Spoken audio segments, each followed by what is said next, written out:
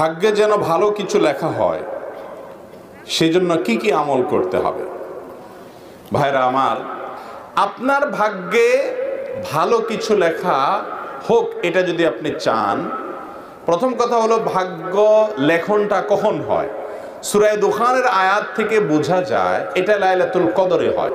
সবে বরাতে ভাগ্য নির্ধারণ হওয়ার ব্যাপারে যে সমস্ত বর্ণনা আছে, সেগুলোর কোনোটি সাহি বা বিশুদ্ধতার মানদণ্ডে উত্তীর্ণ নয়।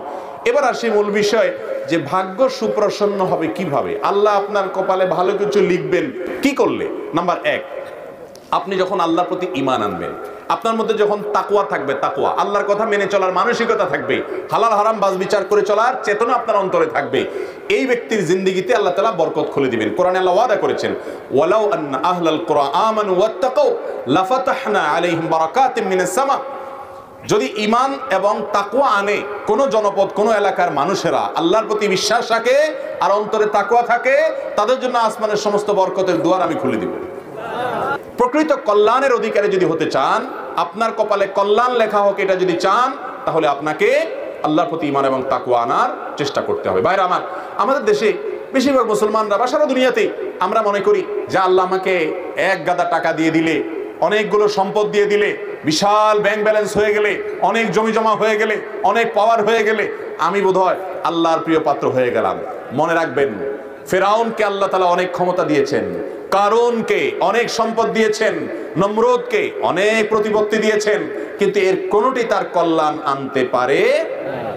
এই সমাজে বহু মানুষ আছে, অনেক সম্পদ প্রভাব নিয়ে চলে, কিন্তু মানসিক প্রশান্তি নেই। আল্লাহ তালা তাকে কল্যাণ আবার অনেক গরিব মানুষ আছে, আল্লাহ তালা তাকে অনেক সুখে রেখেছেন। এই জন্য ওই আল্লাহর বান্দা, তিনি সুখী মানুষ, অথচ সম্পদ নাই। এই জন্য সুখের সাথে সবসময় সম্পদের সম্পর্ক থাকে।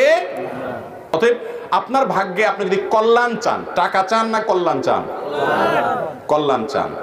সুখ চান না পয়সা চান? যদি সুখ এবং কল্যাণ চান, প্রথম কাজ হলো ইমান এবং তাকুয়া লালন করতে হবে। মুত্তাকিরা কষ্টের মধ্যেও হাসে, দুঃখের মধ্যেও হাসে। নমরুদ প্রাসাদ থেকেও শান্তি পায়নি। ইব্রাহিম আলাইসালাম অগ্নিকুণ্ডে থেকেও শান্তি পেয়েছেন। অতএব আপনি যদি সুখ এবং শান্তি চান, আপনার ভাগ্যে কল্যাণটা লেখক আল্লাহ তালা সুখটা লেখক আল্লাহ তালা যদি চান আল্লাহর প্রিয় বান্দা হওয়ার চেষ্টা করেন। ভাইরা আমার, ভাগ্য আমাদের জন্য যাতে সহায় হয়। আল্লাহ যেন আমাদের কপালে ভালো কিছু লেখেন। এটার জন্য এক রাত নয়, সারা বছর আল্লাহর আনুগত্য করার, আল্লাহর কথা মেনে চলার প্রতিজ্ঞা করতে হবে। নাম্বার দুই, আত্মীয়তার বন্ধন রক্ষা করা। এটা ভাগ্য সুপ্রসন্ন হওয়া, কপালে ভালো কিছু লেখা হওয়ার অন্যতম একটা বড় কারণ। নবী করিম আলাইহি সাল্লাম বলেছেন বুখারীর হাদিসে মান সাল্লাহু আইয়াবসাতা লাহু ফি রিজকি আও ইউনসালাহু ফি আসারি ফালিয়াসিল রাহিমা। যে ব্যক্তি চায় তার রিজিক আল্লাহ তাআলা অনেক বাড়িয়ে দেয় রিজিকে বরকত হোক, কল্যাণ হোক, তার হায়াত এবং জীবনে বরকত হোক এটা যদি কেউ চায়, তাহলে সে যেন আত্মীয়তার বন্ধনগুলো রক্ষা করে।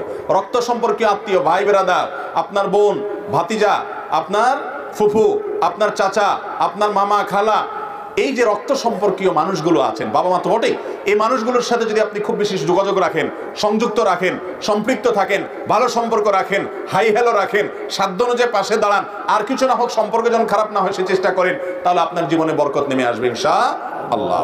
তৃতীয়ত আপনার ভাগ্যে ভালো কিছু লেখা হবে যদি আপনি আল্লাহর প্রশংসা করতে শিখেন শুক্রিয়া আদায় করতে শিখেন। আল্লাহ বলেছেন লাইন শাকারতুম লাজি দান্নাকুম যদি তোমরা আমার কোনো নিয়ামত পাওয়ার পর কৃতজ্ঞতা আদায় করো আলহামদুলিল্লাহ বলো শুকর আদায় করো যে নিয়ামত পাইছো এটাকে আমি আরও বাড়াই দিব। অতএব যা পেয়েছেন, আল্লাহ যা দিয়েছে, অন্যকে কি দিয়েছে এটা নয়। আপনাকে যা দিয়েছে এই জন্য মন খুলে আল্লাহকে শোকর আদায় করে বলেন, আল্লাহ, অনেকে তো এটাও পাও না, পায় নাই, আমি যেটা পেয়েছি। অতএব আপনি যে দিয়েছেন এর জন্য আপনার প্রশংসা। এই প্রশংসা করা মানে হলো আপনার নিয়ামত আরও বৃদ্ধি হয়, ইনশাআল্লাহ। অতএব অনেক মানুষ আছে, নেয়ামত না পাইলে, একটু এদিক সেদিক হলে, একটু কম পাইলে অস্থির হয়ে যায়, নাশকর হয়ে যায়। ভালো করে শুনে রাখেন, এই পৃথিবীতে নাশকরকে কখনো আল্লাহ তালা নেয়ামত দেন না। বহুত নাশকর আছে, দেখবেন সারা জীবন হাউতাস করে। নাই নাই, কিছু হলো না রে, গেল না রে, শেষ হলো রে, কপাল পড়ে, আমি শেষ হয়ে গেলাম, ধ্বংস হয়ে গেলাম, ভাগ্যরে গালি গালাজ করে, এগুলো সারা জীবন কপাল পড়াই থাকে। আর যারা যা পাইছে, এটার উপর শকর আদায় করে, আল্লাহ তাদের নেয়ামত বাড়িয়ে দেন। অতএব তিন নম্বর আমল হলো ভাগ্যে ভালো কিছু লেখার জন্য আল্লাহ প্রশংসা করা, যা পাইছে এটা শকর আদায় করা।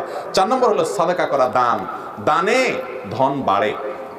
আপনারা দেখেছেন গ্রামে বিশেষ করে চাপকল আছে না চাপকল, যখন পানির লেয়ার নিচে নেমে যায়, আপনি জগে করে পানি নিয়ে আসেন এই পানিটা আনার পর কি করেন আপনি? আপনি কি সেগুলো ঢেলে আরও চাপ দেন? নাকি বলেন, না বাবা, যেটুকু আছে এটুকু আমার কাছে থাকুক। যদি মোটেও পানি না ওঠে, তাহলে কি হবে? তার সাথে যেটুকু আছে এটুকু আমি ধরে রাখি। এটা করে কেউ? বরং যেই জগ আছে, ওই জগ দিয়া চাপ শুরু করে।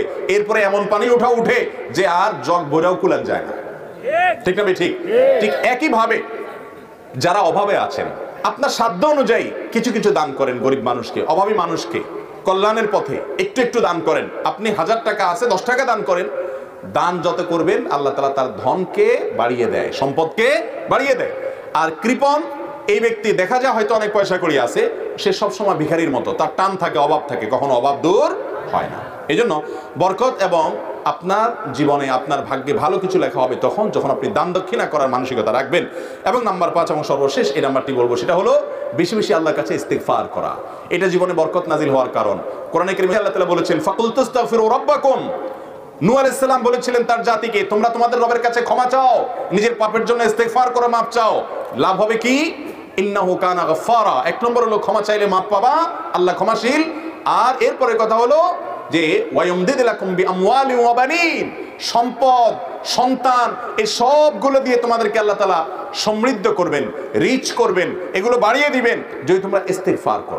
ইস্তেগফারের জীবনে সবচেয়ে বেশি বরকত আসে। সব সময় নিজের ভুল স্বীকার করে আল্লাহর কাছে ক্ষমা চাইবেন। আল্লাহ আমারই ত্রুটি, আমারই ভুল। কত ত্রুটি আছে আমি জানি না হয়তো। নিজের ভুলের কথা স্বীকার করবেন। আল্লাহ আপনি মাফ করে দেন। আস্তাগফিরুল্লাহ আতুবু ইলাই আস্তাগফিরুল্লাহ ইলাই যত ইস্তেকফার করবেন, জীবনে তত ভালো কিছু আপনার ভাগ্যে লেখা হবে।